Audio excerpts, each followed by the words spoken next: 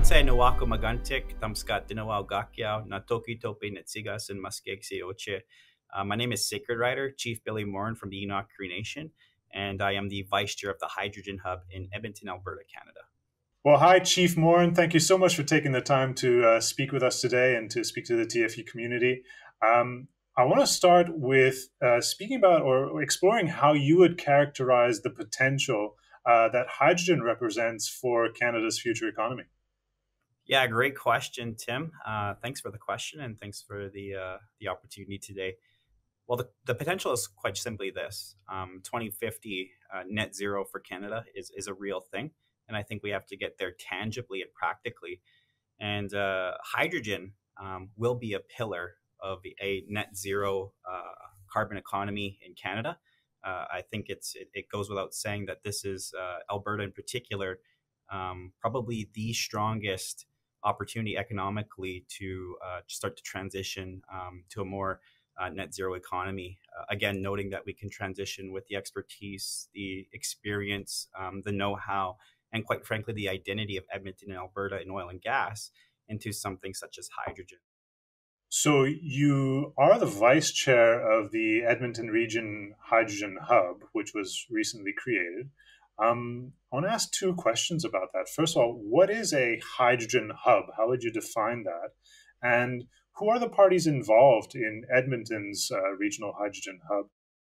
So the hub is is quite simply in Edmonton at this point, uh, a combination of local municipal leaders, uh, government leaders, um, local uh, private industry, um, local arms like organizations such as the uh, the Accelerator, um, local business groups such as the Sturgeon County um, Heartland Association, so private sector, government, and uh, it takes regionally all these players um, to really again create that that zone, create that uh, that environment to excel hydrogen into actual development instead of just talking about it. And the final ingredient there, I would say, is the First Nations themselves. So, you know, here in Edmonton, Alberta, and Canada, um, we're seeing reconciliation economically and reconciliation of including First Nations. So uh, we're proud to be at the table in, in the Hydrogen Hub, and I'm, I'm extremely fortunate to, to be the vice chair. Why was Edmonton and the region uh, chosen for Canada's first hydrogen hub?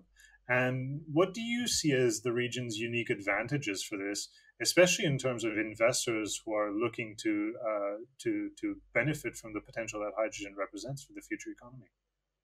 I guess Edmonton's advantage is this. Again, this is oil and gas country. We have an abundant amount of uh, amount of gas and gas infrastructure here, and uh, we're gonna we're gonna have blue hydrogen. We have all the variables: the the capital, um, the infrastructure, again, the gas supply, um, we have the expertise in refining and extraction of gas. And uh, that's what's really driving this process. Is it's economically viable here with the same principles and the foundation that we have. So that's what makes Edmonton different, and and going to be the catalyst in Canada for for investors foreign for uh, for foreign investors on how they're going to come into the region and what makes them feel safe is again um, the hub itself is is not just you know the city by itself it's not just one minister by themselves. It's not just one kind of pie in the sky company. It's local regional players at all levels who want to facilitate this growth. And I'm not sure you have that coordination in other regions uh, across Canada. This is the most coordinated one. Uh, this is the one that makes the most economic sense. And so this is the one that's already translated into something like Air Products investing in $1 billion into the local region. So again, uh, all the uh, the factors and the leaders are moving in the same direction for foreign investment you mentioned that First Nations have to have a seat at the table, and they do, And you being the vice chair. Um, how do you think First Nations and Indigenous stakeholders have to be engaged in development of hydrogen, uh, not only in Edmonton but across Canada? And how well is Edmonton doing this? Can you mention any instances of uh, lessons learned, lesson learned, or best practices? Yeah, for First Nations engagement, you know, I look to um, we look to history and here in Canada, again, um, you know, resource extraction um, for First Nations has always been paternalistic. The Indian Act, which legislates uh, First Nations business and First Nations interaction, even just within the economy, has held First Nations back for uh, the better part of a century now, uh, especially when it comes to oil and gas. So, you know, there's so many lessons to be learned because that legacy Um, we're seeing we're seeing great wins, um, but we're also seeing wins too much defined in court and and too much defined in, in adversarial, too much defined in conflict. Um, but there's there's lessons to be learned again because again and early on in the oil and gas development process uh, you know 50 60 years ago when my great grandfather was chief uh, it was it was the minister of indigenous relations controlling that right from the transaction right to the uh, sharing of wealth and building the nation from those those resources and now early on in the development of a new kind of industry building off of uh, industries that have already been here first nations are right there right at the start right at the start, maybe in the regulatory conversation, right at the start in the production conversation, right at the start in the equity equity conversation. So again, um, you know, to us, uh, hydrogen represents that transition um, and that opportunity for lessons learned that were uh, First Nations were wronged in, in, the past when it comes to oil and gas development. So, uh, kind of a clean slate, and First Nations are ready to participate at this time. It's not just about the bottom line. It's you got to come into the nations and get to know the people. You got to come in uh, and get to know, as juvenile as this sounds, uh, Billy's grandma.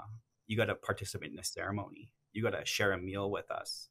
And again, that might sound a little juvenile, but uh, what you can think of First Nations as is, is large family businesses. So a community such as mine is a 2,600 and 32 person family business. And the way family businesses um, do business is you got to come and meet us. Uh, we're very welcoming, by the way. So we love to share um, uh, our story, we love to share our culture, and uh, we're very welcoming. Oh, I love the idea of that. And uh, I hope you can hook up our next interview with Billy's grandma because uh, we'd love to expose her to the world as well. it's kind of true because, uh, again, large family business is Billy's grandma was on leadership before. Billy's grandma um, uh, oversees business as a leader 20 years ago. So again, she's the elder in the room who I have to run things by. So she's not just my grandma; she's also a senior advisor to the nation.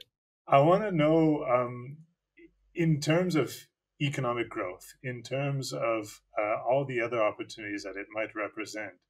Uh, how do you define or characterize the potential for hydrogen uh, for indigenous populations, uh, indigenous First Nations, not only necessarily uh, for Enoch in Edmonton or in Alberta, but across the board, across Canada? Well, for us, um, what potential does hydrogen production rep- represent for Indigenous nations? It represents to us across Canada, not just Enoch, the opportunity to live up to our reputation. So, you know, Indigenous people are seen as the stewards of the land we're here to ultimately protect the land. That's the teachings historically our elders um, passed down to us as our responsibility to do right by Mother Earth, to also find a balance in making uh, money, creating business, but doing it in a sustainable way that honors Mother Earth and our traditional teachings. That's what hydrogen to me represents in this local regional economy in the hub. You mentioned throughout the interview all these different groups that are involved in the hub, that have to be involved in the hub to ensure its success. Uh, government, uh, business, both local and foreign, and obviously First Nations such as yourself. Um, how cooperative are all these partners in the Edmonton Region Hydrogen Hub? Um, and from a foreign investor's perspective, how welcoming do you see that business ecosystem as being? Well, right now, I would say the local partners are, are, are, are very much on the same page. So, you know, again, we're fortunate enough as First Nations to sit at that table with uh, multiple other uh, mayors and, and local regional representatives.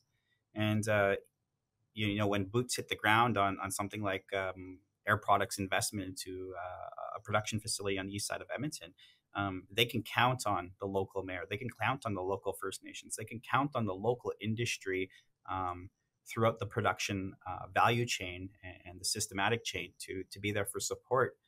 I think again, if you're a foreign investor, um, you know, come and see us, come and talk to us, and you know, I think the First Nations themselves, as opposed to maybe the municipalities or even the private sector, have a different arm's length um, access to the government, a different lobbying, a different uh, mechanism to go into government and say like, because um, again, we categorize ourselves as nations, so ultimately, we're here to share. Um, but First Nations themselves can create legislation, they can create regulatory regimes.